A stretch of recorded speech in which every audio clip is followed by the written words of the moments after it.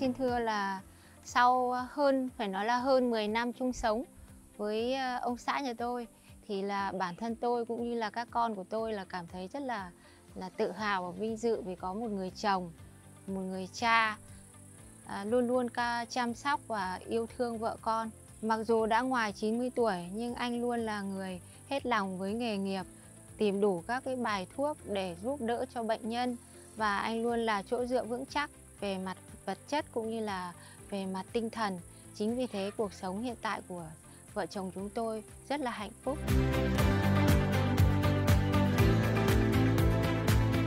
Theo như quan điểm của tôi thì uh, sống trong một cái hoàn cảnh gia đình là vợ thì ít tuổi, chồng thì hơn bản thân mình những 53 tuổi.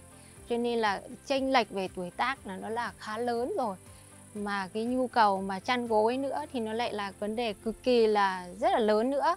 Cho nên là bản thân ông xã tôi cũng phải hàng ngày là nghĩ ra những cái bài thuốc để cho nâng cao cái thể trạng của mình lên để làm sao mà đáp ứng với lại cái cái cái cái lứa tuổi của bản thân tôi.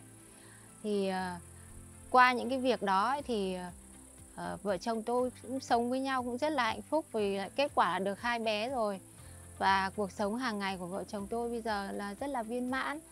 Thì nó phải có những cái gì đó gắn nhau gắn kết với nhau bền chặt. À, ví dụ như là chuyện vợ chồng thì chuyện vợ chồng thì đương nhiên là phải có cái chuyện chăn gối rồi. Thì thì cái vấn đề đó thì nó cũng phải có. Cho nên thì nó mới gắn kết được hai vợ chồng với nhau. Từ đó thì để mà vợ chồng với nhau hiểu nhau hơn rồi thông cảm với nhau hơn từ đó thì cuộc sống vợ chồng nó mới được hạnh phúc.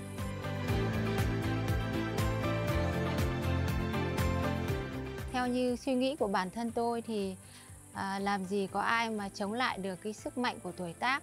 Mỗi một năm qua đi là cái tuổi trẻ nó đã nó đã qua đi mất một chút rồi yếu nó đã giảm đi một chút rồi.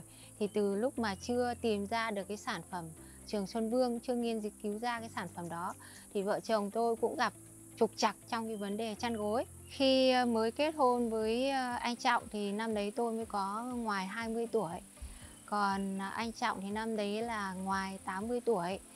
Thì à, cái vấn đề mà vợ chồng sống nó cũng cũng gặp trục trặc trong vấn đề sinh con. Với hai nữa là ờ, bản thân tôi cũng khát khao để có có có con cho nên là áp lực lại càng đè nặng lên vai của của chồng tôi. Chính vì vậy mà uh, chồng tôi thì ngày đêm tìm ra cái công thức để sản xuất ra cái trường Xuân Vương thì lúc đó thì tôi quản lý gia đình rồi xếp nắp mọi công việc cũng như là sát cánh để cùng chồng tôi nghiên cứu ra cái bài thuốc ờ, cái cái sản phẩm Trường Xuân Phương. Sau khi nghiên cứu thành công sản phẩm Trường Xuân Vương thì sức khỏe của chồng tôi ngày một tiến bộ lên và đã thu được quả ngọt đó là sinh được hai bé và hiện tại thì sức khỏe của chồng tôi rất là tốt rất là là là, là khỏe và cuộc sống của vợ chồng tôi thì hiện tại rất là viên mãn.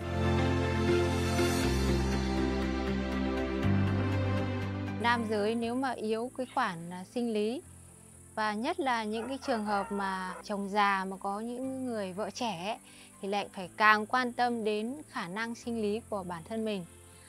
Là một người có chồng hơn tôi ờ, 50 tuổi thì tôi khuyên các anh nam giới nên thoải mái chia sẻ những vấn đề mà mình đang hay gặp phải và cùng nhau tìm cách giải quyết mà nếu như không tìm được cách nào hiệu quả thì hãy cứ tìm đến trường Xuân Vương của chồng tôi. Hàng ngày có rất nhiều người gọi điện cảm ơn anh Trọng vì đã nghiên cứu ra cái sản phẩm trường Xuân Vương để giúp giữ lửa hạnh phúc gia đình.